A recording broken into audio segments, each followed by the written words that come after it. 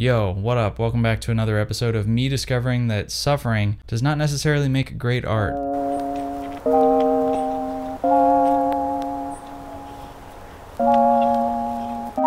Today's episode is sponsored by Squarespace. Once upon a time, Caleb and I had this crazy idea to do a thing. However, with this thing, we wanted to heat things up a little bit and shoot only with our large format cameras, a challenge worthy of only the noblest or the dumbest the latter being us. Well, now I can confidently say, mission accomplished, and it was legend, wait for it, it's terrible. It was terrible. 8x10 large format film is pretty expensive, oftentimes costing about 10 to $12 per sheet for developing. A 10 rack of new Portra 400 in the box goes for about $200. So at roughly $20 a shot, you have to be pretty picky and detail oriented. Unfortunately, I'm not either of those. I fired off the most large format sheets I've ever shot, and most of them are for this journey, I took along two of my three lenses, a Nikkor 240mm and a Nikkor 120mm. I love both of these lenses very much, and in time, you might learn to love them too, but I don't know, maybe you're not capable of love anymore. Along with me, of course, I pulled some film out of my ass analog safe storage. I brought a box of Ilford HP5, Portra 400, and a ton of Ektachrome 100S that was kindly donated to me by a viewer from the Great White North.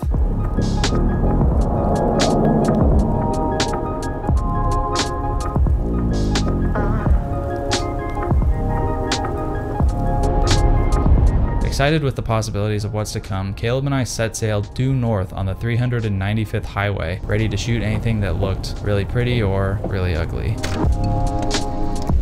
Unfortunately for us, either Poseidon, Saturn, or just Mother Nature was pissed off that day and it was raining a lot. But that wouldn't deter us. The only thing that could stop us is wind because our cameras would literally blow away. At our first stop, there was an abundance of wind and boxed wine. After praying that the boxed wine was still loaded and then finding out they weren't, we disappointedly scouted out the area and then decided to come back when the desert hurricane was over.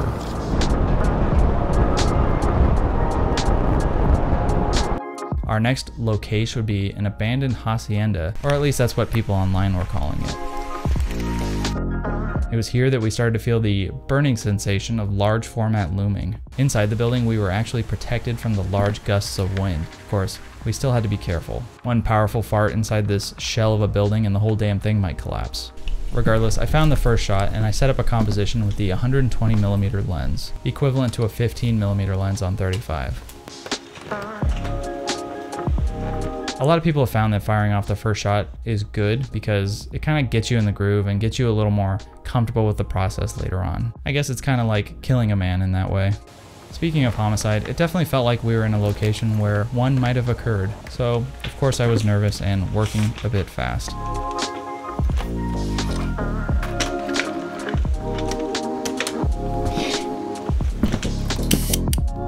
Nonetheless, I actually really like this shot, shot on HP5 with a 1 quarter Pro Mist, and boy is that highlight bloom subtle, yet beautiful.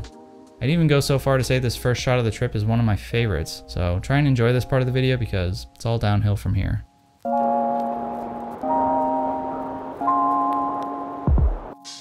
With a moment to spare, I set up another composition utilizing the 120mm. It would be a bit of a tight fit, but with some WD-40 and a can-do attitude, it would work out. Alright, hopefully you can hear me. And it's not too windy, but it's probably too windy.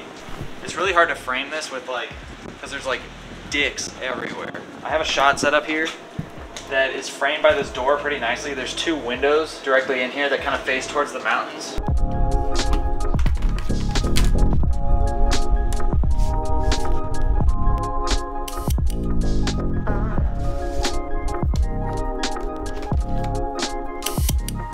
This photo is okay. I do like the soft glow from the Pro Mist and how layered overall it is with the doorway, the windows, and the mountains at infinity. There's also a nice texture of all that crap on the floor, but something ain't it about this photo. Maybe it would have been better if I lowered the camera and tried to straighten the vertical perspective lines a bit more. Unfortunately, the 120 millimeter doesn't have much coverage, so doing it in camera wasn't really an option. I think that our window of opportunity is closing here, so uh, we might want to get going because we're kind of down like a dirt road and I don't know if it floods or like what it does in the heavy rains but it definitely seems like there's a system incoming so I'm gonna pack up and get the hell out of here There's a cool shot right here of this window and the power lines that just go off towards infinity, but there's a huge dick across the top of the window.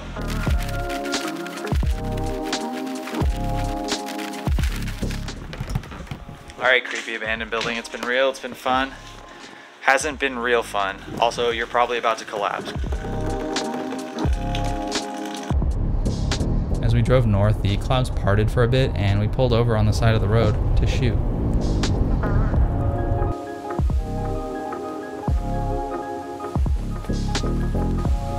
There was no way I wasn't to shoot this awesome moment in color. But just like how I'm saving my body for marriage, I was also saving my Portra 400 for a special occasion. And frankly, this felt like love. Or I mean, it felt like the right time, I guess.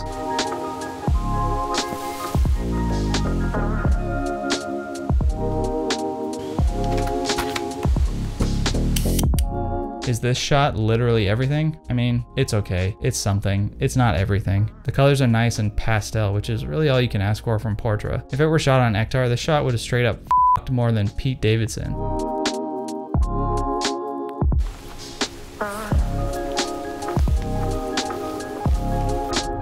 After getting lunch at a local hidden gem called Subway, we headed up to Alabama Hills. The clouds rolling in over the eastern Sierra were simply beautiful.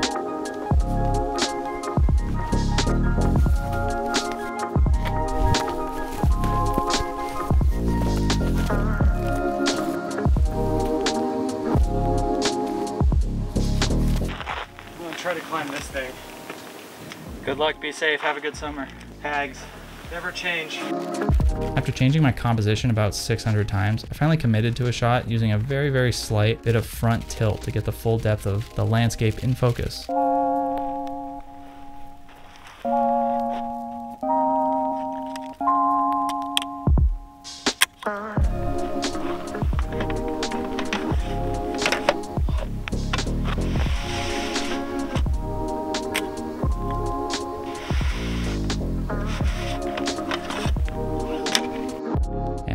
That work for this. I don't know. I guess this shot is okay. I don't think I managed to get exactly what I was looking for, but it sure looks cool with all the detail that 8x10 brings.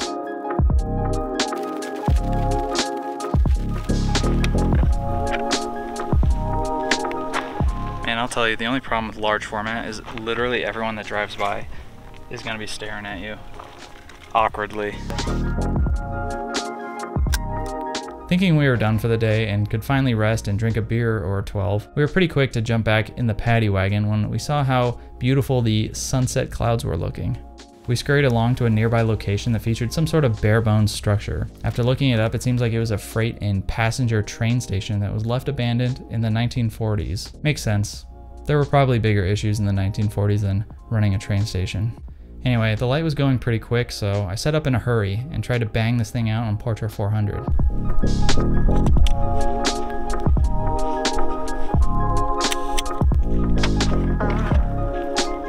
Get your shot. I got it.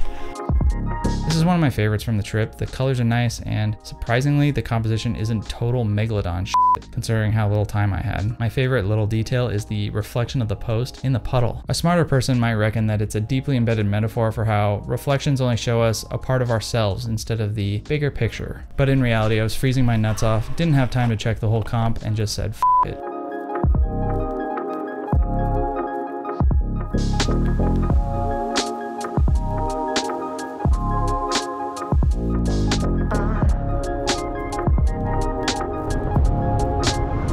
Say for yourself, Jason? You're a little too close.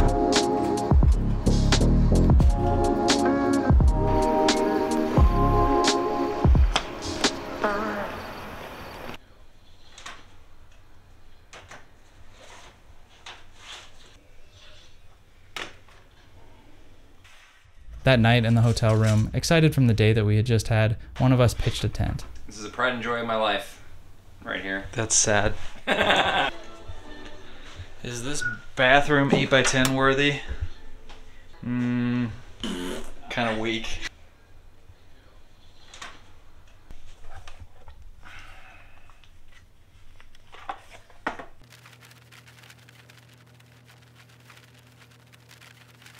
Have you ever had Johnnie Walker Blue Label? Not blue. Have you? No, I want to. Whoa, whoa, whoa, whoa, whoa, whoa, whoa, whoa, whoa. I'm thirsty. I ended day one with having shot 5 sheets of HP5 and 2 sheets of Portra 400. To slow myself down a little bit, I loaded up some expired Ektachrome for the next day. A little concerning how sticky this tent is, Caleb. Like I said before, I was kindly gifted a 40 rack of expired Ektachrome 100S that expired in August of 2002. I ran a quick test sheet of this stuff before I left and it's not too bad, but I don't think I would make any serious work on it unless I was forced to, which is kind of some shitty foreshadowing. Day 2.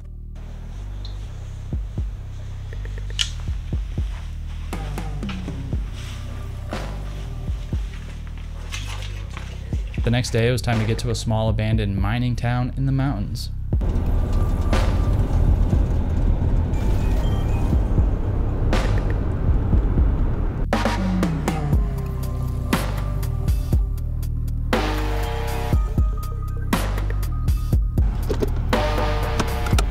To get there, it would require some deep and sketchy backcountry trails. there we go.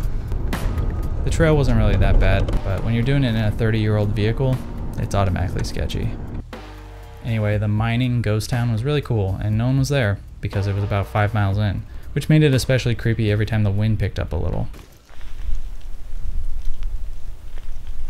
I feel like I'm being watched or something.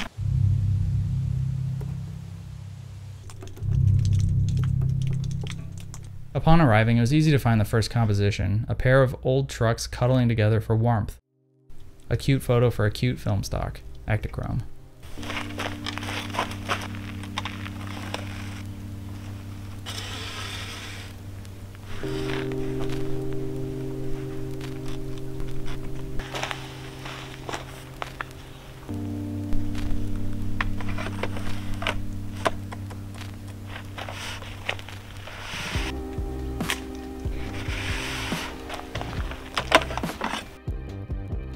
This shot is pretty interesting. I actually like it a lot, but I f***ed it up and only realized later that I metered it for 400 ISO instead of 100. Oh, ah, f me. I've been rating these at 400. Well, I guess that means that the first photo is f***ed up because it's two stops underexposed on expired slide film. Damn, that was gonna be a good shot too. I don't know, maybe it's fine. We'll see.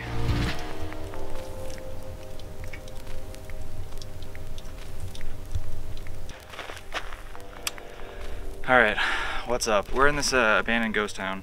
Is that like saying it twice? Like ghost towns are already abandoned. I have this composition here of this cabin. It looks like a workshop or something. Um, I'm shooting with my 35 millimeter lens. It's a 35 millimeter equivalent. What film stock am I going to shoot this on? Good question. Thinking Ektachrome with a warming filter. I think that'll look pretty nice. Hopefully it all works out. This is a very high contrast scene. I wouldn't recommend shooting slide film in this kind of environment, but you know what? F it.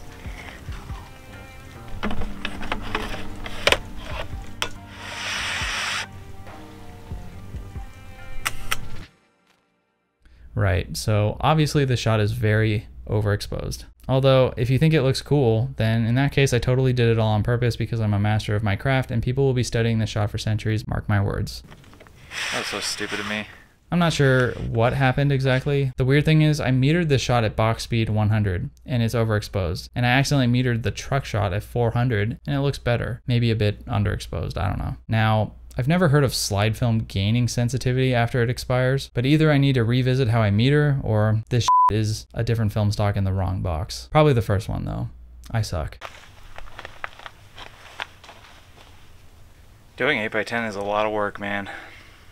I think we've been here for like an hour and a half and I've shot two shots, maybe. One's up. I'm gonna take this shot of a, uh, it's like a sink. There's a bunch of like old oil things in it and the light is kind of coming through this cracked window at a really nice angle. Dude, I can't see shit in there. Wow, this is just gonna be a best guess kind of thing.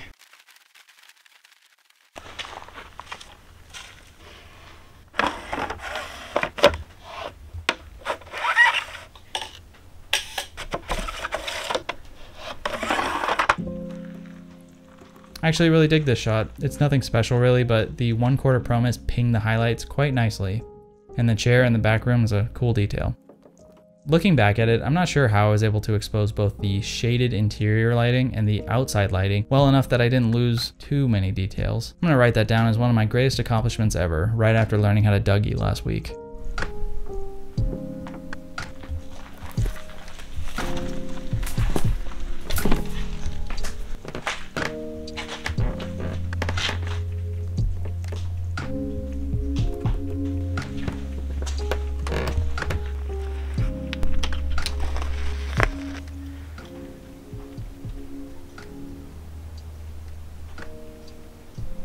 Sounds like somebody, like I can hear someone's footsteps. There's this beautiful composition here with um, a bunch of windows that are kind of blown out, and way off in the distance you see uh, the Eastern Sierras. I guess the question is, do I shoot this on black and white or Ektachrome? Yeah, I'm gonna do black and white.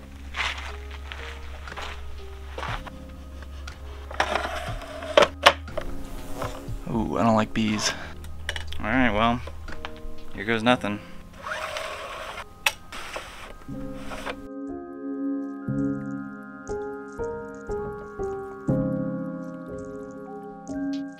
So we knew about this mining building down the road a little bit, but what once used to be a road had collapsed into a creek, and while the big blue bitch can do most things, it can't climb vertical canyon walls. Apparently, this is a road. Out of. Ah, Either out of shape or it's the altitude. It's the altitude for sure. So Caleb and I hoofed it up. We didn't know what this mine would look like or if it was even still there, and this mystery was too exciting to ignore. Well, like most J.J. Abrams mysteries, the truth was not that exciting. It was a cool location, but the lighting wasn't really doing it for me.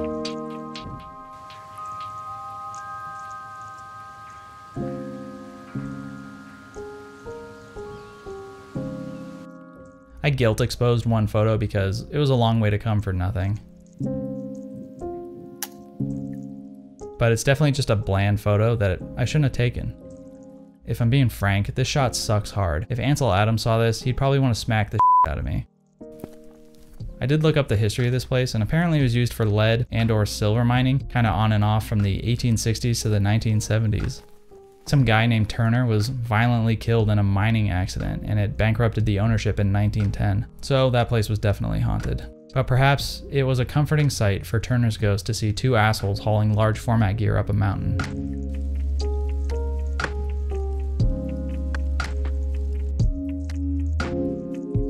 On our way back to Big Pine, we spotted several interesting ruins that might make a cool shot as the sun was starting to cast that sweet, sweet golden light nectar. Hi, howdy. We made it out of the deep, deep backcountry. So we found some um, ruins, I guess you can call them. We're gonna shoot them because the lighting is just really, really nice. I feel like this would be a waste to not shoot on color. Um, unfortunately, all I have is Ektachrome, but uh, I'm gonna give it a shot. I feel like it'd be fine. Yeah, can do it. I'm no coward.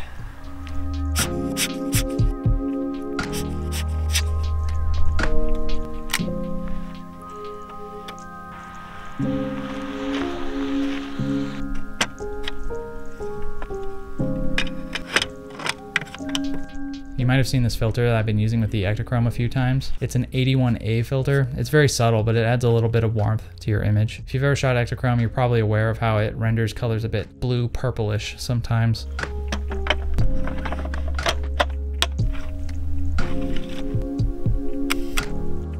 Needless to say, for this shot, I think it really helped. The orange yellows of the plants really popped off while the atmosphere going towards infinity remained blue.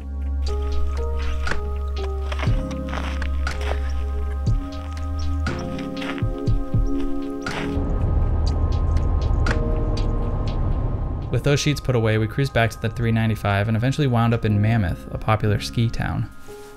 It was time to rest our backs, cracks, and our sacks. To be honest, the work required to haul around all this large format gear was starting to get to us. Our bodies were starting to hurt quite a bit, and it wasn't going to be something that beer and pizza could fix. So it was probably impossible to fix. Day three.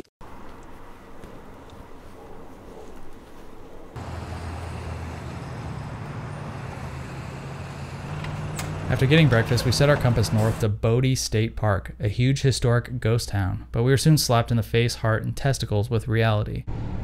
Ram it. Ram it. but we did actually spot a few cool locations on the way up, so we headed back down towards those.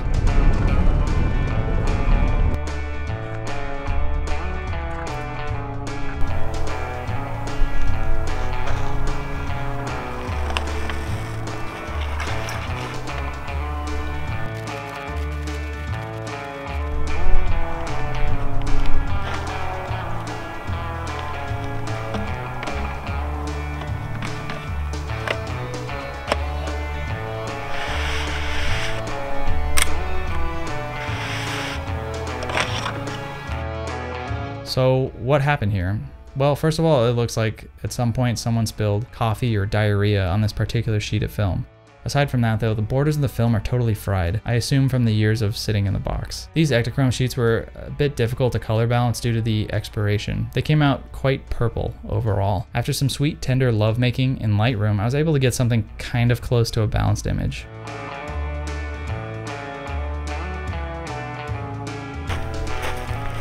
We soon headed down to a familiar location, Mono Lake. We actually visited this location the last time we were in the Eastern Sierra, but this time I was determined to shoot it in black and white for some crusty ass images that might outdo the crustiness of the lake itself. I gotta shoot this one wide open. I decided to shoot the first image wide open to render the image with a crazy depth of field almost like a portrait. The 240mm Nikkor lens barely seems to fully cover 8x10 when it's wide open, but it does deliver a certain look. Because it was brighter than holy hell at this location, I would need to use an ND filter. To make things even crazier, I threw on the 1 quarter Pro Mist and the 81A filter because I don't know why. Maybe my body was aching so much at that point, I felt like I had nothing left to lose. Admittedly, it was a bit strange being in a location where everyone who walked by was noticeably perplexed by the large 8x10 camera. You could always kind of tell that they were confused about what year it was and if I was a time traveler from the past.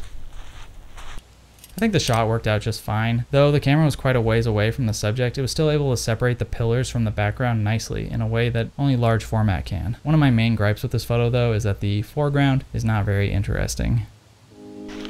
On the next setup though, I would rectify that. Haha, wrecked is close to another funnier word.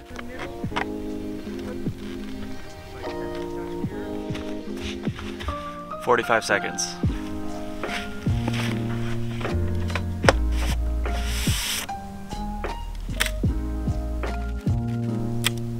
Whew. I really hope I'm not in the shot. The shot is a lot better. The long exposure turned the water surface to an otherworldly mirror-like reflection, which is super cool. If I could change one thing though, it'd be my dumbass not leaving footprints everywhere in the sand where I was gonna shoot. It's like that old saying all my teachers used to write on my tests. Can't fix stupid. So I also took this photo, which is by far my best from the trip. Sadly, the battery in the camera I was using died, so you won't be able to witness the shot being taken in all its glory. Just imagine God rays beaming down on me as I set up the 8x10 and executing the shot with pinpoint accuracy akin to that of a World War II sniper taking out Nazis. There's also a lot of dust and crap on these shots for whatever reason. I decided to leave the dust from the film and scan in the final image. I felt like it actually gave the overall image more texture, which is really just a convenient excuse for me to not have to paint all 12 million of those little out. But enough lollygagging around. It was time to head up to a nearby mountain lake and see what we could do. As we arrived, we noticed all the leaves had turned beautifully yellow. It was perfect for some color film.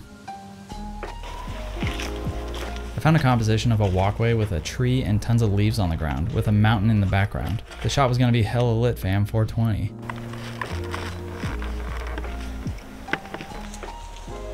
It would have been even more perfect if I was ready to fire the shot as this couple walked through, but alas, it wasn't meant to be. Honestly, I wish I had some Portra loaded for this shot, but sadly, Ektachrome would have to do. After slapping the 81A filter on the lens like I was slapping around some flex tape, it was time to fire away.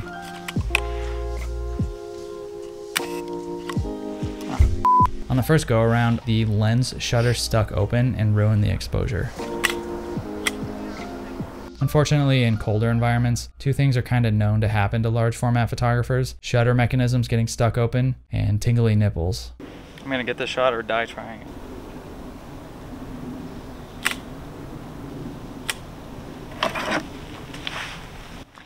The Shot turned out not too bad. Ektachrome was definitely not the best choice, but it did its job, I guess, whatever the hell that means. The detail on the image is incredible. I often find myself going to sleep at night only to wake up surprised that somehow I'm at my desk, naked, and looking at the sheet through a magnifier.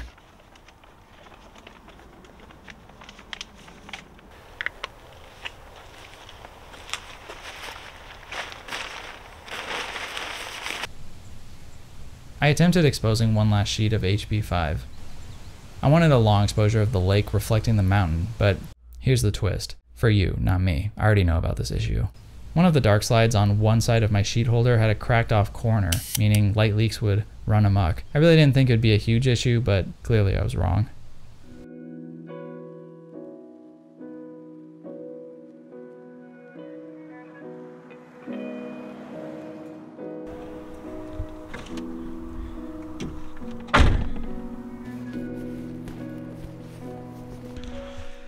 Last time I was in this room, I shot what many professionals consider to be the best photo of my entire photography career. It is. It, it is. But it was a different room. Let's see if the toilet is any good. It's not. it's not. It's not. That night, over some downright filthy barbecue, Caleb and I congregated and had a gentlemanly discussion over f-stops and shooting large format. We concluded that as photographers, I subscribe to the f64 club where everything is in focus, whereas Caleb is more in the wide open club where he prefers a lot of out of focus separation. After coming to this realization that we were two men of different photography philosophies, we got hammered.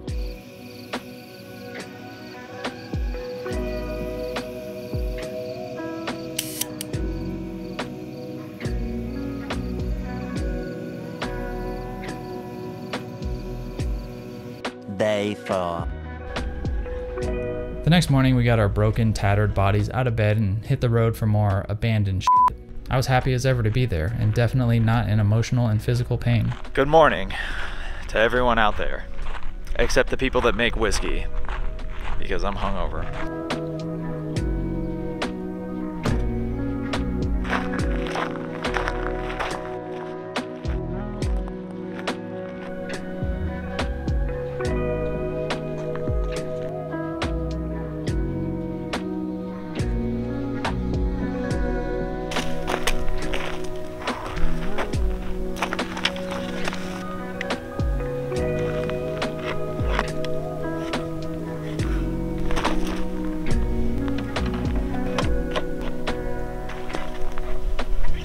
Ended up exposing one sheet on Ektachrome, but it doesn't really matter because I was ignorant and dumb later on in the day and accidentally yanked the dark slide out partially. I'm a professional, damn it. The next location was a really cool, super photogenic, abandoned roadside service station.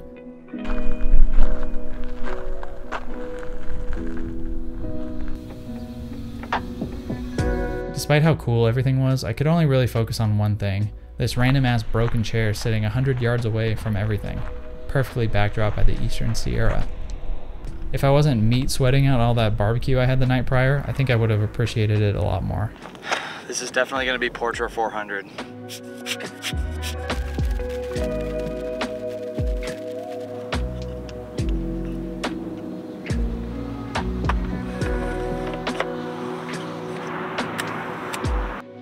This one turned out pretty good, I think. I love the depth of field separating everything and mainly just how simple the whole shot is. It's basically just a portrait, subject and background.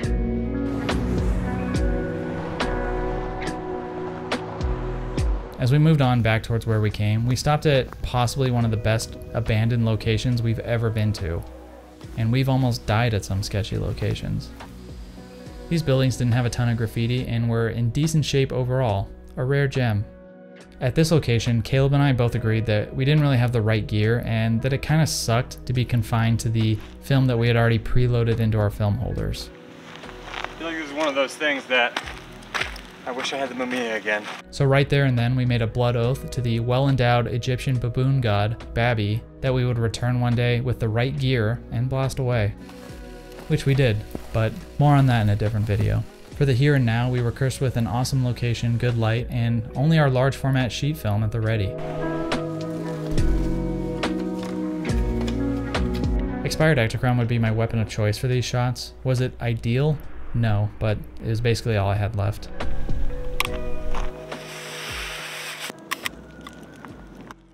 This shot is okay. The lighting is pretty harsh and that's definitely not Ektachrome's strong suit, but I actually think Ektachrome renders the color orange super nicely, especially if you edge it along a little bit with a filter.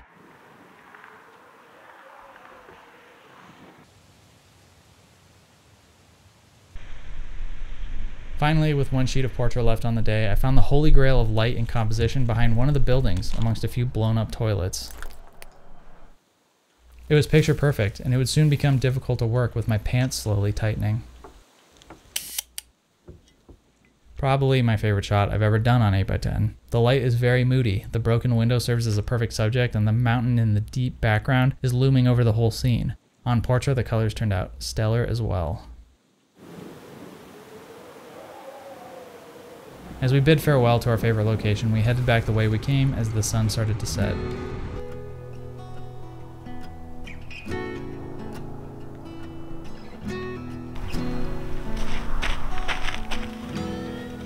All I had left was a single sheet of HP5, which I put to good use for one final shot of the day. Like no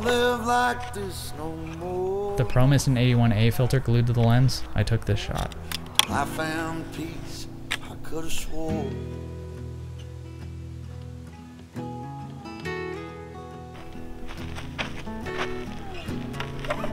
After all that, I was pretty happy to call it a day. Four days of driving, shooting 8x10, and making a video were all weighing pretty heavily on my body because I'm weak and I need a gym membership. Well, like this no more. Trouble comes when the barmaid pours. Another should have found the door.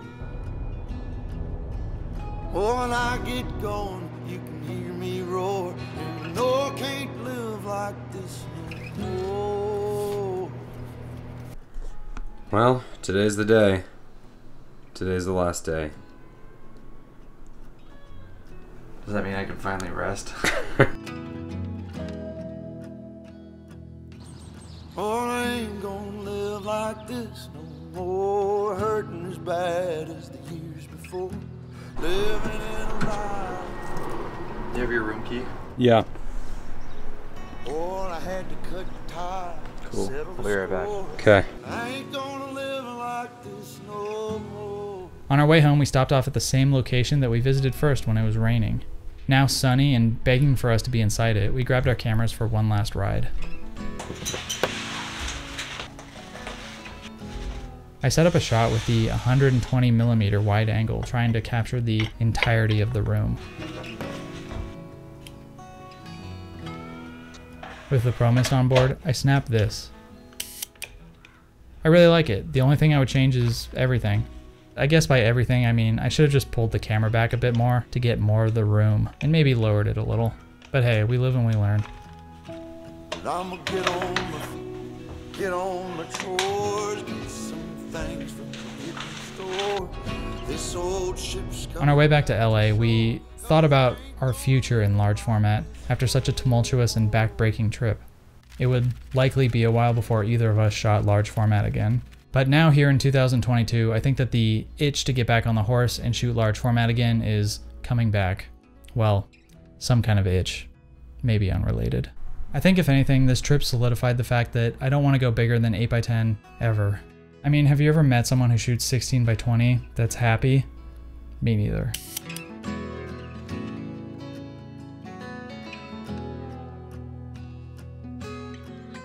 But speaking of happiness and things that'll make you jump for joy, I'd like to thank today's sponsor, Squarespace. Let's face it, as photographers, the best way to be seen nowadays is online, so why not have a beautiful website that displays your work in a professional and modern design? Squarespace lets you do just that. With over 100 website templates for you to pick from, customizing your own personal website is a breeze. For my own website, I simply uploaded and rearranged my work in a manner that was conducive to a strong portfolio layout. Squarespace makes it easy with an all-in-one website building package. You don't need to download, install, or update anything to get going. Even better, their user interface is incredibly straightforward to navigate. If you do run into a snag, Squarespace even offers award-winning 24/7 customer support. So what are you waiting for? If you're ready to build a website, you can start a free trial today at squarespace.com slash grainydays. And if you use the code grainydays at checkout, you can get 10% off your first purchase. Well, that about does it. On this trip, I shot 16 sheets of HP5, 12 sheets of expired Ektachrome, and 8 sheets of Portra 400, totaling to about $800,000 worth of film and developing.